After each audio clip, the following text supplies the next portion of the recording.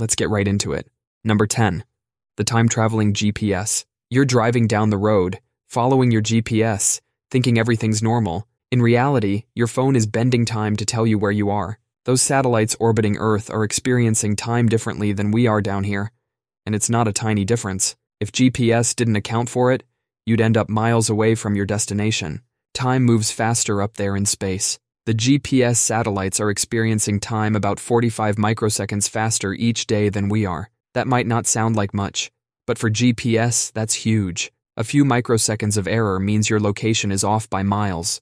This happens because of Einstein's theory of relativity. Gravity doesn't just pull on objects, it actually pulls on time itself. The stronger the gravity, the slower time moves. Since Earth's gravity is weaker where the satellites are, time moves faster for them.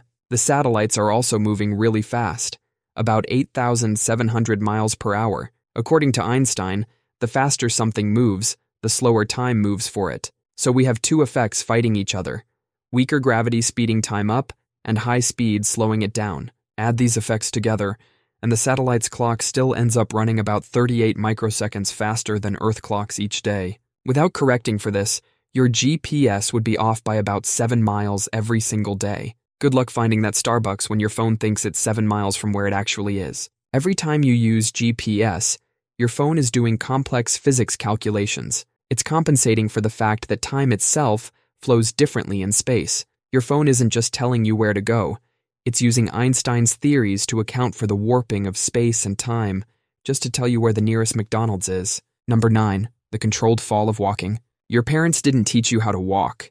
They taught you how to fall and fail at it. Every single step you take is technically a controlled fall. When you walk, you're literally throwing yourself off balance on purpose. You lean forward until your body starts to fall, but right before you faceplant, your other foot swings out to catch you. For a split second during each step, your body's center of mass is actually falling forward. You're constantly playing a trust fall with gravity. Your brain is doing complex physics calculations every time you take a step. It's predicting exactly where and when to place your foot to catch your fall. It's doing this thousands of times every day without you even thinking about it. It's basically like having a tiny Einstein in your head. Instead of E equals mc squared, he's making sure you don't fall on your face. Tripping on nothing is just your brain messing up its physics homework. Your internal Einstein forgot how gravity works for a second. This is why robots still can't walk as efficiently as humans. Engineers have been trying for decades to make robots walk like us, but they just can't nail that controlled falling thing. So you're not just walking, you're constantly falling and catching yourself like a gravity defying ninja, doing something that our most advanced robots still can't figure out. Number 8. The ketchup trick. You turn a ketchup bottle upside down and nothing happens. You shake it a bit, still nothing. Then you shake it harder, and suddenly half the bottle ends up on your plate. Turns out you've been manipulating physics this whole time. Ketchup isn't your normal, everyday liquid.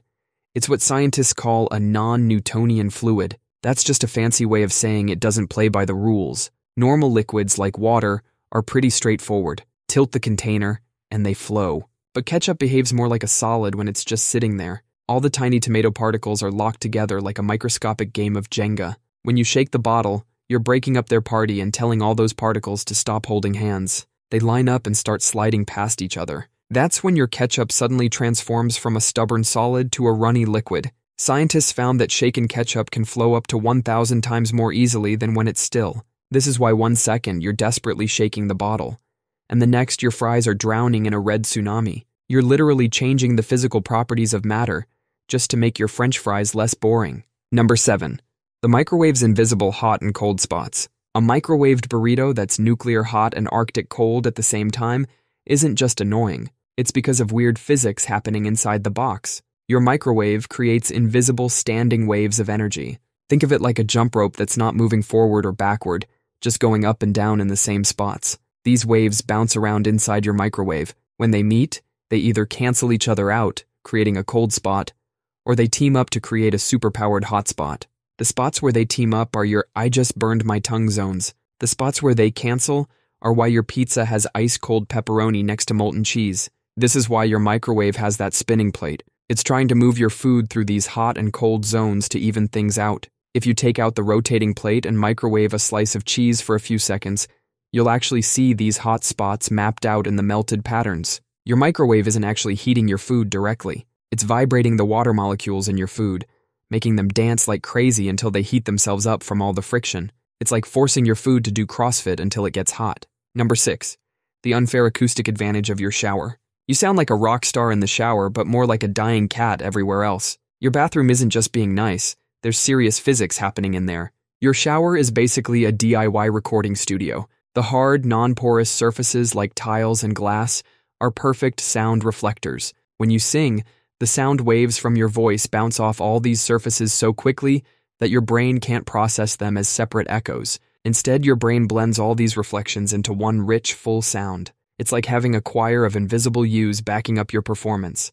This is called reverberation, or reverb. Your shower hits the sweet spot. If it were much bigger, you'd get distinct echoes. If it were smaller, the sound would get muddy. The reverb also masks all your pitch problems and vocal wobbles. It's like Instagram filters for your voice, making everything sound better than it really is. That's why when you try to recreate your shower performance elsewhere, it sounds less impressive. So don't quit your day job based on your shower performance. Those tiles are lying to you. Number 5. Floating on nothing while you sleep. You're floating right now. At the atomic level, you're hovering above whatever you're sitting on. The atoms in your body never actually touch the atoms in your chair or bed. There's an invisible force field between them. It's the electromagnetic repulsion of the electrons in your atoms pushing against the electrons in the chair's atoms. It's like pushing two magnets together with the same poles facing. No matter how hard you push, there's always an invisible barrier keeping them apart. When you lie down to sleep, you think you're on your mattress, but you're actually floating just above it. Your entire body weight is held up by these electron force fields. Scientists call the principle that keeps atoms from collapsing and allows for this repulsion the Pauli exclusion principle. It essentially means that electrons really hate being forced into the same space as other electrons. If this force didn't exist, you'd fall through your bed, through your floor, and you'd keep going until you reach the center of the earth. Number 4. Breaking the sound barrier with a whip. When you see a whip being cracked in a movie, that iconic sound isn't just a random noise. It's a sonic boom, the same thing that happens when a jet breaks the speed of sound. When you swing a whip, you create a wave of energy that travels from the thick handle down to the thin tip. As this wave moves along, the whip gets progressively thinner and lighter, but all that energy from your arm is still moving through it. To conserve the energy, the wave has to speed up as the whip gets lighter. It's like squeezing a tube of toothpaste that gets narrower at the end. The stuff has to move faster to get out. By the time this wave of energy reaches the flexible tip, it's moving at over 750 miles per hour. That's faster than the speed of sound. When something moves faster than sound, it outruns the pressure waves it creates in the air, resulting in a sonic boom. That's the crack you hear. For centuries, people had been breaking the sound barrier for fun without even knowing it. Probably the only time humans achieved this before we even knew what the sound barrier was. Number 3. The Blade's Secret. You can slice through a hard carrot with a knife using barely any effort, but try crushing that same carrot with the palm of your hand, and you can't do it. When you push down on a knife, you're not just applying force, you're concentrating all that force onto the blade's tiny edge. Imagine standing on someone's foot wearing sneakers. Now imagine standing on it with a stiletto heel. The heel hurts way more because the same weight is focused on a much smaller area. A sharp knife's edge is so thin it's almost invisible. You're focusing all your force onto an area smaller than a human hair. It's like taking the weight of an elephant and balancing it on a single needle. The pressure at that tiny point gets so intense that it literally forces the molecules of the carrot apart. If you could measure the pressure at the edge of a sharp knife as you cut, it would be higher than the pressure at the bottom of the ocean. You're creating pressures that would crush a submarine, all with the casual force of buttering toast. Number two, the shocking truth of your socks. You're shuffling across your carpet when suddenly a tiny lightning bolt jumps from your finger to the doorknob. That's you casually creating up to 25,000 volts of electricity just by walking. Your socks are actually stealing electrons from your carpet. They're little electron thieves. Every time your socks slide across the carpet, they're ripping electrons away from the carpet fibers. This is called the triboelectric effect. These stolen electrons build up in your body until you touch something metallic, like a doorknob. Metal is a great conductor, so all those stolen electrons make a break for it at once, creating the spark and the shock you feel. Now, 25,000 volts sounds dangerous, but these static shocks have high voltage and almost no current. Voltage is the pressure, but current is the flow. It's like a water gun that shoots a single drop of water really, really fast. It has high pressure, but it's not going to flood anything.